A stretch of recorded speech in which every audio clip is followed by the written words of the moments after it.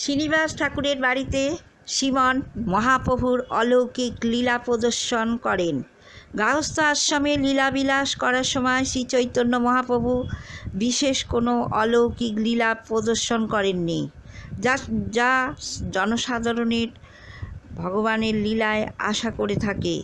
একবার তিনি শ্রীনিবাস ঠাকুরের বাড়িতে এক অপূর্ব লীলা প্রদর্শন করেছিলেন। তখন প্রবলভাবে সংকীর্তন হচ্ছিল। তিনি ভক্তদের জিজ্ঞেস করলেন, তারা কি খেতে চায়?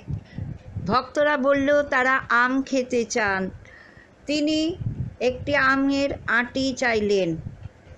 আঁটি যখন তার কাছে আনা হলো, তিনি সেইটি শ্রীনিবাস ঠাকুরের উঠোনে পুঁতলেন। তৎক্ষণাৎ আম গাছটি অঙ্কুরিত হয়ে ক্রমশ বড় হতে লাগল। সেটি একটা আম গাছে পরিণত হলো। এত পাকা আম ধরল ভক্তরা, খেয়ে শেষ করতে পারল না। আম গাছটি শ্রী নিবাস ঠাকুরের অঙ্গনেই থেকে গেল।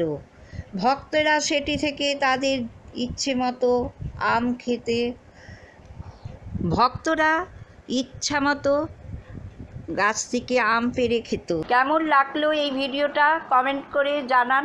আজ এই পর্যন্ত। যাওয়ার আগে বেল আইকন বাটন অবশ্যই হিট করুন। আর প্রচুর বন্ধুদের সাথে ভিডিওটা শেয়ার করবেন।